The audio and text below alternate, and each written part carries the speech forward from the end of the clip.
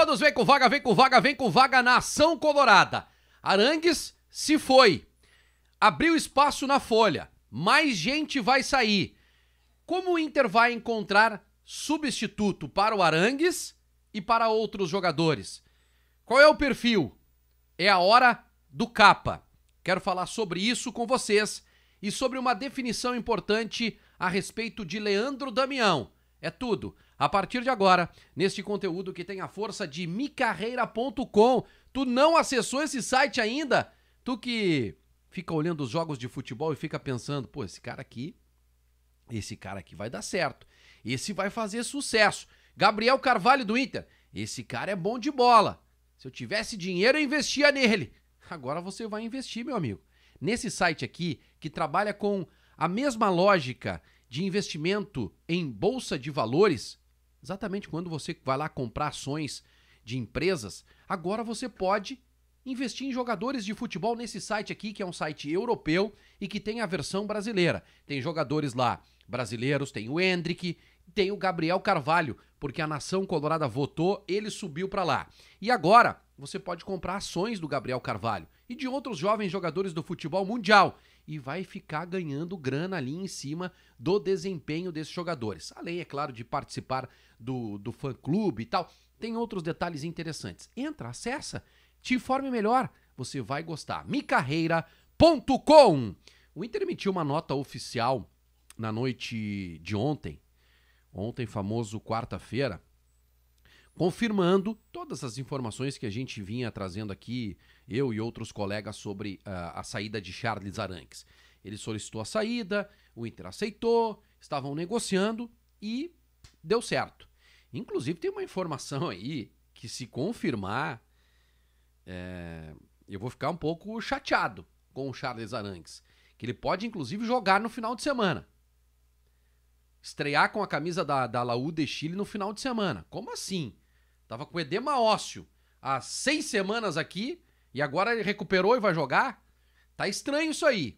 E a nota, é, a, a nota ela é bem, ela é curta e grossa, a nota oficial do site do Inter sobre Arangues. O Inter informa que encerrou as negociações e rescindiu o contrato de forma antecipada do jogador chileno Charles Arangues. Ponto. Não tem aquele não tem aquele agradecimento final. O Inter agradece aos serviços prestados pelo Arangues. Não tem nada disso. Nada disso na nota. Parece que ficou um clima ruim aí com a saída do Arangues. O Arangues não deu certo nesse retorno ao Internacional. Eu não, eu não vou dizer isso, tá? Ele teve, uma, ele teve uma boa Libertadores da América. Ele foi importante. Foi importante em momentos decisivos da Libertadores da América do ano passado. Inclusive, se o senhor Eduardo Cudê não tira o Charles Arangues nos dois jogos contra o Fluminense, o Inter poderia ter um resultado melhor, na minha opinião.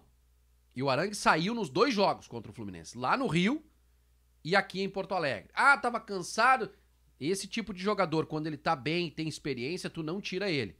Porque ele dá a posse de bola e tal. Ele teve a importância dele. 2024 foi um horror. Mas saiu para fazer uma cirurgia, a família foi para lá, depois voltou.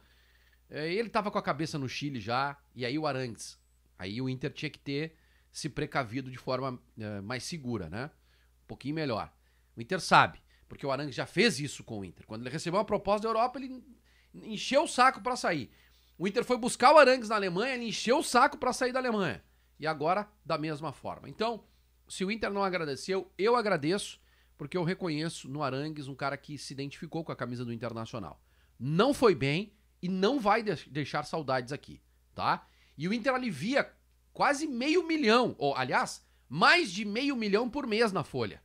Mais de meio milhão por mês na folha.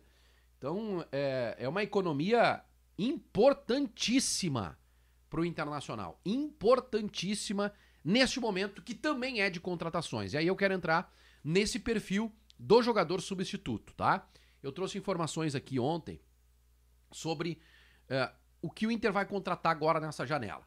Dois zagueiros, um lateral direito, um camisa 8, porque já sabia da saída do Arangues, e um atacante, podendo contratar, quem sabe, mais um lateral esquerdo também, tá?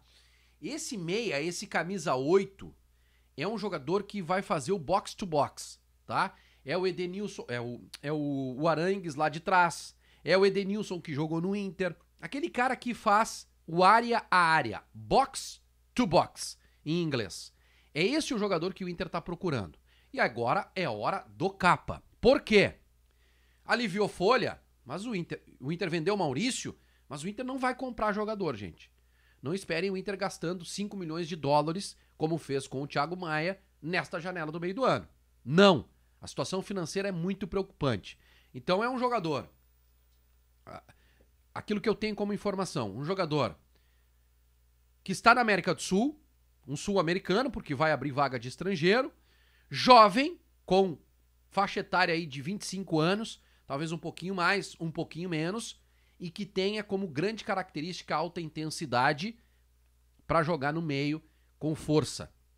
Um jogador que tenha controle de bola e que tenha força para fazer o lado direito ali, o camisa 8, tá?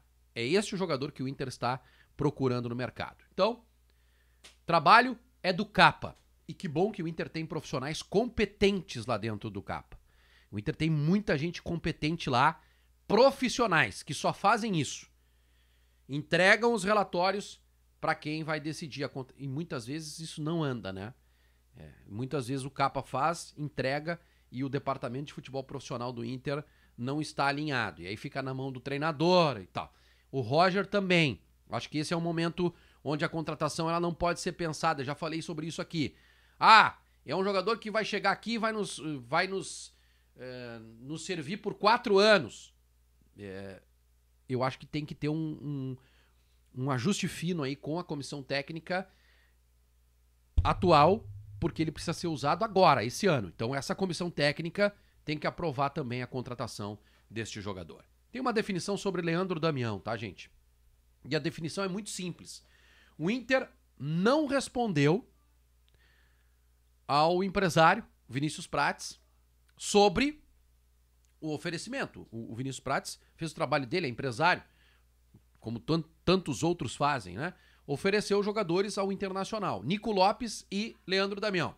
Nico Lopes, totalmente descartado. E Leandro Damião, stand-by. Mas eu descobri que não há proposta alguma por Alário.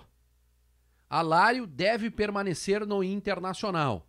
Ah, o Inter não consegue, não vai rescindir o contrato do jogador, ele tem vínculo com o clube, o jogador não vai abrir mão do que tem a receber, a menos que receba uma proposta oficial da Arábia, dos Estados Unidos.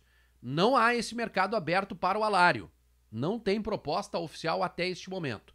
Com isso, Alário não sai, não abre espaço na folha e mesmo que o Leandro Damião aceite 250, 300 até o final do ano, o Inter não fará essa contratação para não ter sobreposição de jogadores. Então, a ideia é recuperar Lucas Alário, dar uma carga física para ele, para que de alguma forma, quando necessário, ele estiver melhor condicionado e ajudar o Internacional.